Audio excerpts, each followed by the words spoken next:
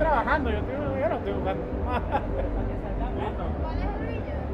El brillo con luz propia. El brillo con luz. La grabando. Bueno, estamos en este streaming activado de la cuenta del Partido Socialista Unido de Venezuela, la cuenta de 4F, que es el periódico del partido, y también estamos desde de todos los estados de Venezuela conectados a este Congreso Mundial contra el fascismo, el neofascismo, las expresiones similares. Por ahí caminando entre el Congreso, me conseguí una persona que le han, que le han tumbado la cuenta más veces que, la- que- que la- que los gringos nos han sancionado a nosotros. Lo- La, la cantidad de veces que los gringos sancionan a Venezuela es la cantidad de veces que a Miche le han tumbado su cuenta de TikTok. Entonces yo quería primero que nada darte la bienvenida, hermano. Este es Un gusto. tour, un placer. Gracias por la Un placer invitación. conocerte por aquí. Bueno, lo que me gustaría preguntarte de inicio, tienes poquito tiempo en Venezuela. ¿Cuál es tu primera impresión? Y la verdad que exageran mucho desde los medios cómo, el, cómo está Venezuela, un lugar peligroso, sin papel higiénico, sin comida, que salí te matan en la calle. O sea, yo ayer salí tipo 12 de la noche a caminar. No conozco bien los barrios, pero era un barrio muy bonito, todo pavimentado. Yo en mi ciudad tengo la, tie- la, la calle rota, cloaca que salen, gente que está hundida en la mierda. O sea, por lo poco que voy viendo, están mucho mejor que mi país. O sea, tampoco, uh, acá Europa, pero están, están igual o mejor, un poquito mejor. Eh, la comida muy, muy rica. Veo las ¿Comiste comunas, arepa? ¿Ya comiste arepa? arepita chiquitita, huevo, frijol, me el desayuno. O sea, vengan a Venezuela a ver la realidad con sus propios ojos. O sea, yo ayer salí, no me sentí inseguro, en ningún momento no le avisé a nadie, me fui. Caminé solo, había una fiesta en la esquina, una Hammer me encontré, que se hizo viral el video, una Hammer en Venezuela. Pero ¿qué es lo que acá se están comiendo entre, entre- entre- ustedes? O sea, básicamente eso es. En Argentina, el gobierno se la pasa hablando de Venezuela, Venezuela. Chicos, aguanten hambre porque si no van a estar como Venezuela. Acá en Venezuela están comiendo mejor que allá, amigo libertario, les digo, ¿no? O sea, hay McDonald's, más barato acá la comida, algunas cosas, o sea, yo no puedo creer. Es como que estoy en. Esta es la ¿Qué verdad. sale? ¿Qué sale de Venezuela afuera? ¿Qué, qué es lo que dicen? Pasa que nosotros desde Argentina todo el tiempo están asediando a Venezuela. O sea, que acá hay una dictadura, que hay militar en la calle, o hay malandros, o sea, hay mucha hambre. O sea, imagínate, yo llegué al baño de mi. de, de donde estoy hospedado, hay dos rollos de papel higiénico. no uno, dos. Porque en tu video que subiste anoche, dice, hablaste específicamente del papel higiénico. Pero ¿qué dicen fuera? Que no, Que no hay papel higiénico, que tenés que limpiarte con la mano, que no sea, anda a Venezuela, ya lo ve que ni papel higiénico hay, o sea, o sea, pasa que se aprovechan de que la gente, o sea, Argentina cortó los vuelos a Venezuela, no podemos venir acá directamente, o sea, es complicado venir. Es como que lo demonizan mucho, crean un, un hombre de paja que no se puede defender. Pero la realidad, eh, la realidad es totalmente distinta. Como le digo a todos, lo que está acá no es la realidad. La realidad es esto. O sea, vengan ustedes, carne y hueso y véanlo. Porque literal yo mucho tiempo también creí en las mentiras de las redes sociales. Yo fui una víctima de la desinformación. Por eso también hablo, porque sé que a muchos jóvenes les va a pasar lo mismo. Van a creer un cuento que ni existe y después se van a chocar con la realidad y es doloroso, es doloroso.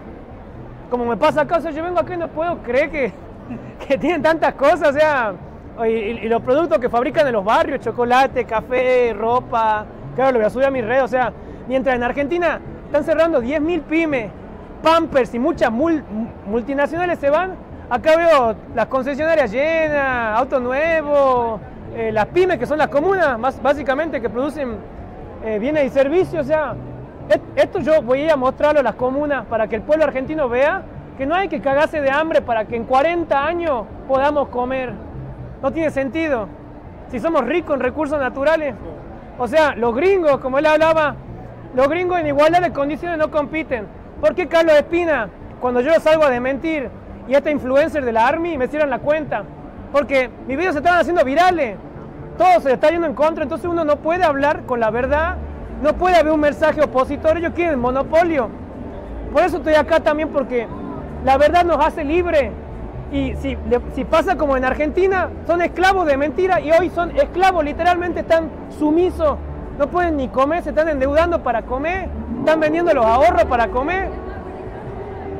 Y bueno, te puedo preguntar, ¿qué está pasando en Argentina? Porque así como a nosotros nos demonizan fuera de Venezuela, eh, también hay como una especie de, de ropaje alrededor de Argentina que no muestra eso que tú nos estás contando. No, no. Los que, los que vemos a, a, tu- a influencers como tú, como Michelle, como otro grupo de argentinos que hacen un esfuerzo importante por comunicar lo que sucede, lo hacemos, pero el común denominador, lo que consumen son los medios tradicionales, bien sea por el mundo digital o por la, o por la comunicación tradicional, televisión, radio, prensa. Y eso no es lo que uno ve en los medios. ¿Qué está pasando en Argentina? En Argentina primero es la mentira descarada al pueblo porque ya como ganaron, no les importa qué piensa el pueblo. O sea, hace unos días antes que yo venga acá salieron a romperle los huesos a los jubilados que no pueden comer. Porque mira, en Argentina subieron las tarifas mil por ciento, búsquenlo, mil por ciento. Yo pagaba de gas cuatro mil pesos, que sería el equivalente a 4 dólares. Ganó mi ley que dijo que iba a bajar todos los precios, estoy pagando 40 dólares de gas ahora. Pagaba un alquiler 285 dólares, la vivienda. Ahora está más de mil, pero todos ganamos lo mismo. O sea, el gas subió, la luz subió, el alquiler subió, tu sueldo, no, no, mi ley dice, no, eso no, no puede subir. O sea, desde el Estado libera los costos del trabajador, pero congela el salario. Y ante el mundo, él se vende como un héroe. Estoy derrotando el déficit fiscal, 6% de inflación en un mes, esto es la panacea. Y lo está cagando de hambre a su pueblo, pero a él y a la ultraderecha lo que le importa es promocionar esta mentira en los demás países. Por eso yo le digo, gente no caigan en el error de la ultraderecha, vengan a Argentina a vivirlo, porque así como mienten de Venezuela, también mienten de mi país. Y en mi cara yo veo gente de otro lado alabando que, mira los trabajadores, están ganando en dólares, porque literal mi ley dice en mi cara, los salarios están volando en dólares, las jubilaciones están volando en dólares.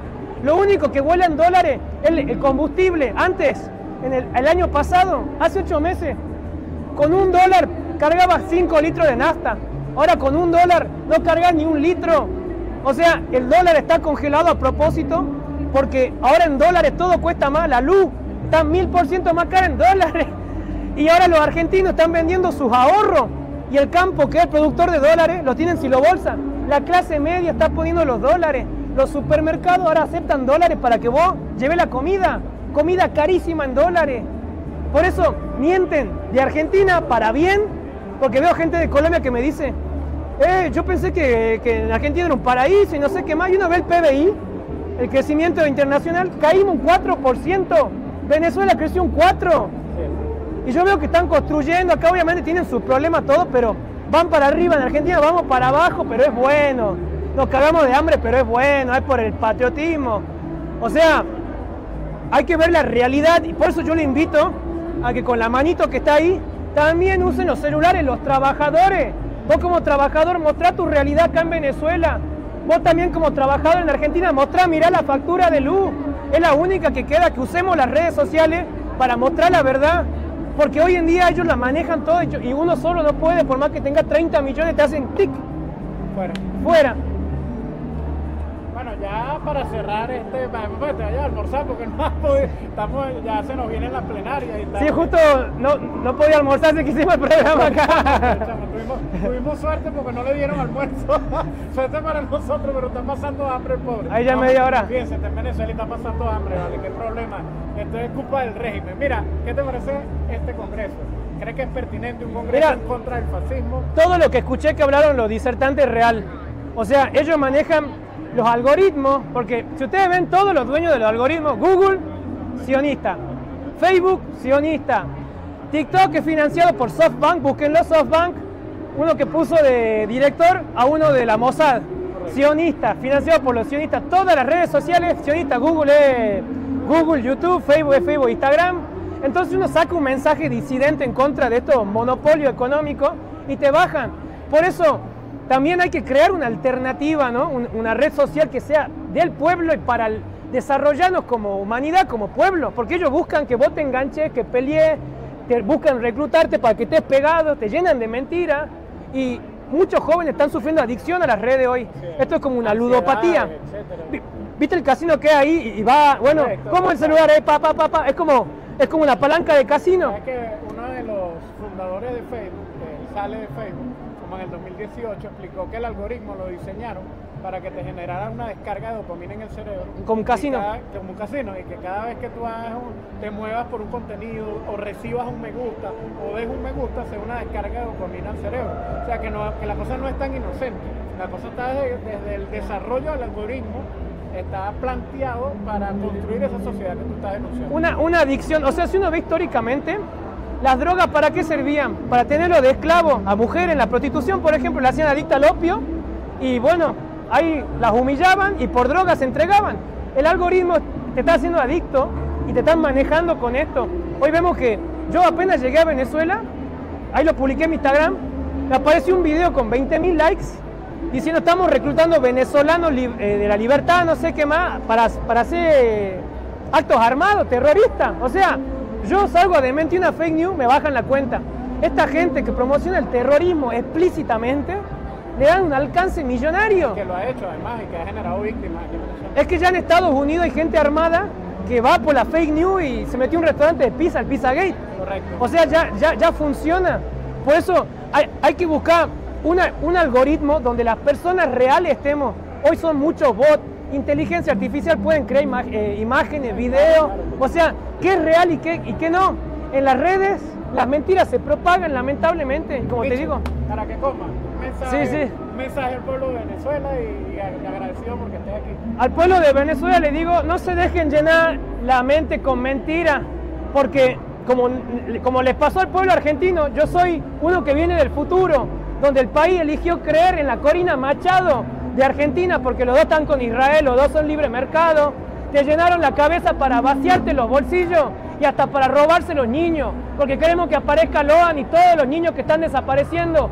Hoy la red de trata se ha perpetuado en Argentina, quieren legalizar la venta de niños. En medio de todos los chicos desaparecidos, 3 millones de dólares paga la mafia.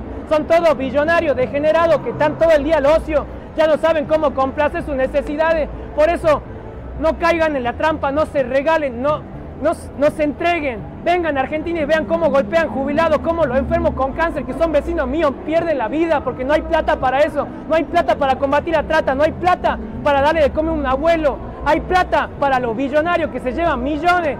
Perdimos el agua, el petróleo, el gas, todo. Por eso, pueblo de Venezuela, busquen la verdad, que la verdad los va a hacer libres. Hago un compromiso público, Miche, con esta sentencia. La verdad nos hará libre y yo me comprometo a llevarte por una comuna.